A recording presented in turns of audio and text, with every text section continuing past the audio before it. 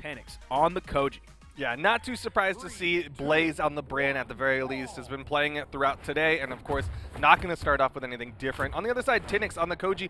Koji's been getting a lot of love lately. Again, these bows are becoming more and more popular, but Blaze is chopping up already.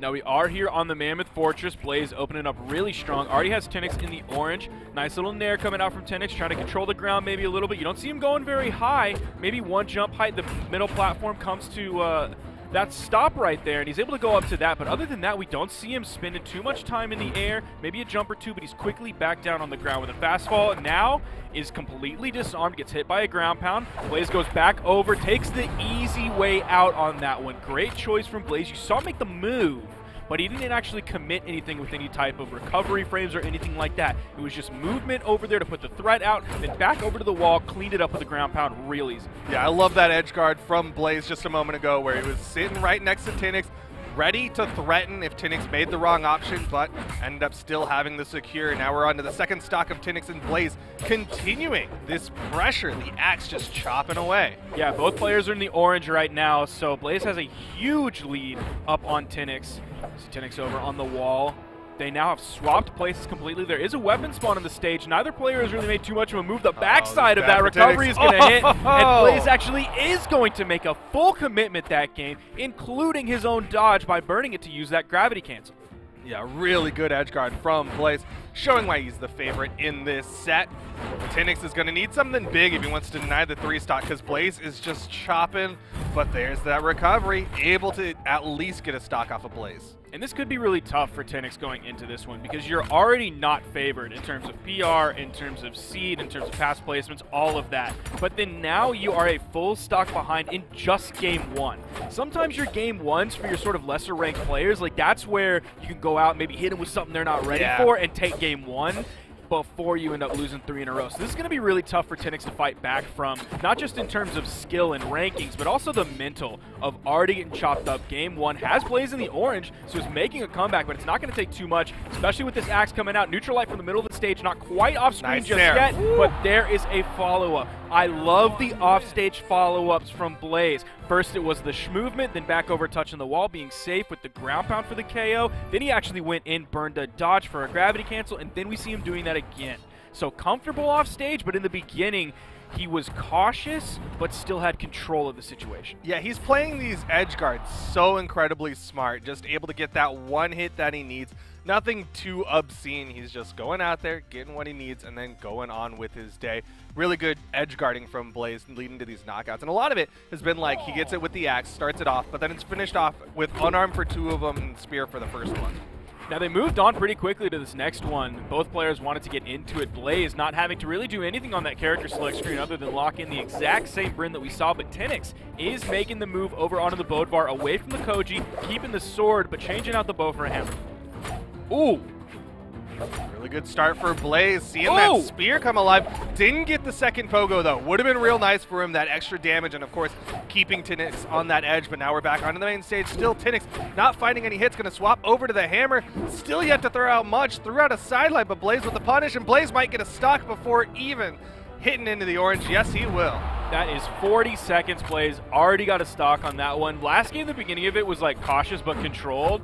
This game, he has like full control of everything going on. He was missing like a lot of moves on his spear Yeah. on the first stock of Tinix, but Tinix had absolutely nothing. That's why you don't see Blaze up in the top right, in orange, in red, anywhere near that.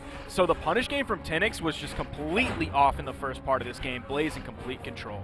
Yeah, Blaze looking real good to take this with a clean 3-0 in the top, in the losers top eight.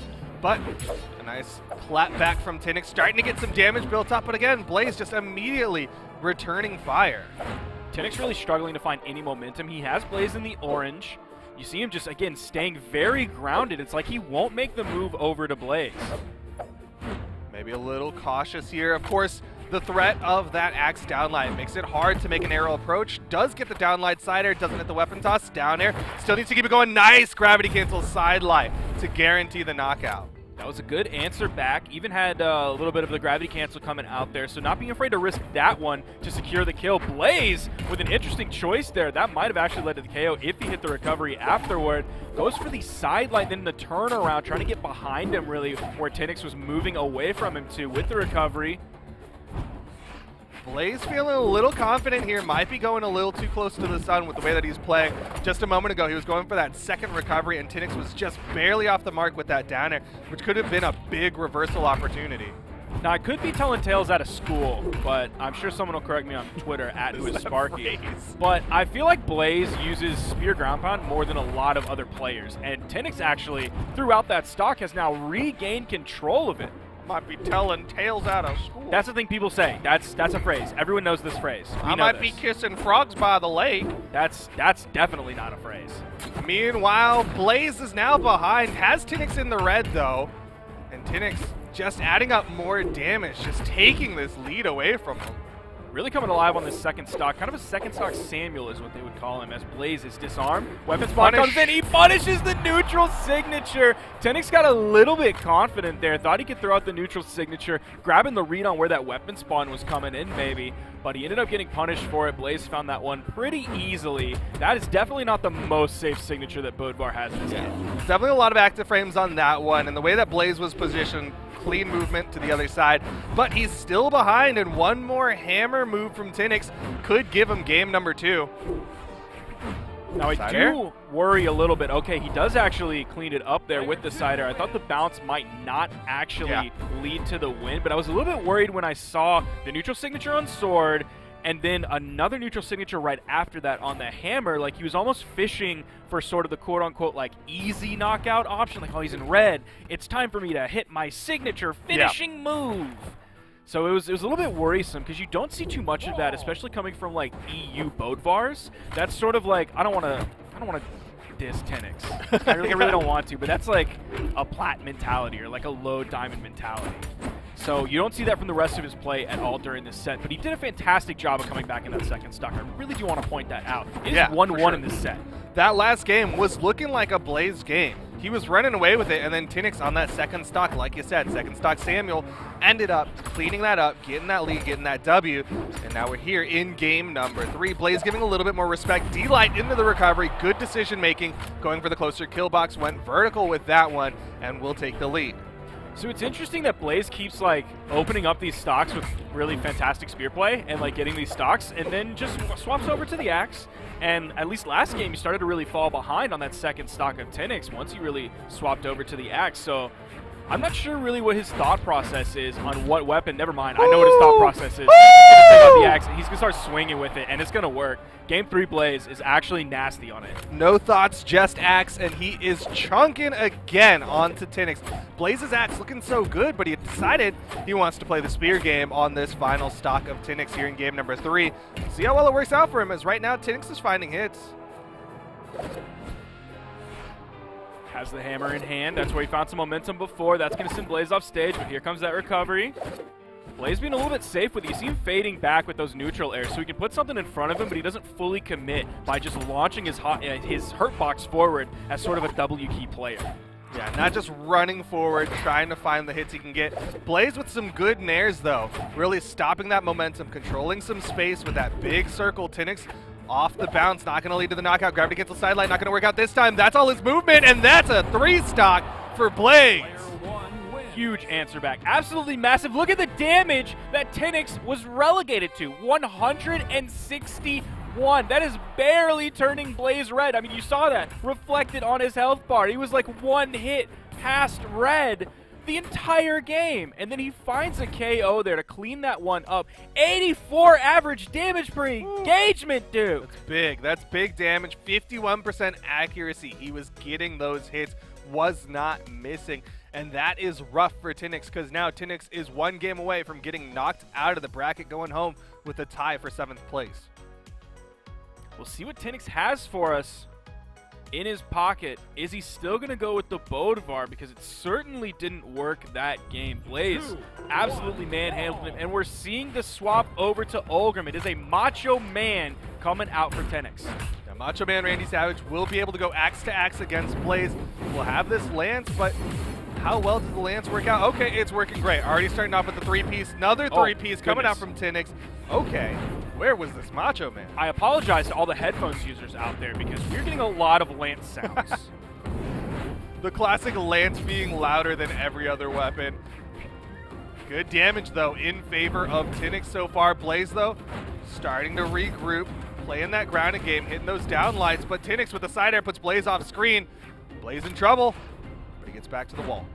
Now, Tinix does not have hardly any Lance legends in like his top played legends, according to Corehalla. I'm scrolling down and I'm like, I'm seeing basically nothing. Like Artemis is one of his highest ones, and that is at like a level 33. So you see the immediate flurry of Lance coming out. It's working for him so far. Unfortunately, he couldn't find that non-true combo option with the sidelight into the recovery for the KO, but his Lance is looking really confident. Yeah, good side air from Tinix will give him the first stock. And uh, I have to believe that this was a very direct, like, this is what I want to play against Blaze. Like, when you have a character that is not high experience, but just uh, high damage output, it means you're you're doing it specifically as a counter. His Ulgrim is level 26. Okay. Like, he just unlocked the black color You probably did that today. Yeah, that might have been this morning. I don't even think like any of the suede that's on that black color skin, I don't even think any of that is scratched yet. That is absolutely brand new. Fresh out the box, but getting some good damage built up on the Blaze's second stock. Blaze did a good job evening this one up, but again, Tinix just getting that extra credit, getting those swings on the Blaze. The juggle potential from Tinix is looking pretty good. Nice neutral light. Oh, this is Tinix bad though. unable to land leads there, yeah. Could not find a landing for a while there, and it gave uh, a lot of damage to Blaze. Tinix going high in the air for that one. Blaze waiting as long as he can before he lands down on the platform. Eats a side air. Tinix with a solid lead here. Complete control of the weapons for Tinix. Going to, of course, go back to that lance. Even that one he's tossing up. So weapon advantage is a big priority for Tinix. Unfortunately for Tinix fans out there, Blaze is able to grab that axe pretty quickly. He's adding up some good damage here. You know he wants to find the side air, but he just can't quite find the positioning for it. Yeah, this is a tough spot for Blaze because Tinix is also hitting side airs, and those Lance side airs have a little bit more priority. Dare will launch him, but still not enough. Blaze yet to throw out a signature, to be completely honest. Like, he is very restricted in his uh, play, but he's going to get the side air for the knockout. Didn't take too much damage on this final stock. He's going to have his choice of weapons, and he's going over to the Axe. Tinix, see him going high, hoping he can grab a weapon spawn like right as it comes in on frame one when he sees that glow. There one is. He wasn't able to grab it in time, but he is able to move over to it. You didn't see Blaze really move to the right. He just kind of stayed right above on the left side where Tinix was. This is bad. Offstage That's engagement. it. That is an orange KO, and Blaze is going to take that set after a lightning start for Tinix. But the set goes to Blaze 3 1. It was so close to getting it to game number five. The Lance play so strong from Tinix, but just right on that final stock. It's like you were kind of trying to point out is that Blaze was like, all right, I'm going to let you get that Lance. I don't care because I have the perfect counter with my axe play and was able to take it out. But a close one. You can see how similar those damage numbers are 39 versus 33 on the average per engagement. Now, one thing I did want to mention is uh, you remember Magimind, right? Yeah. Who won the EU Arcadian Uh-huh. like just a week ago. Yeah. Magimind did hit me up.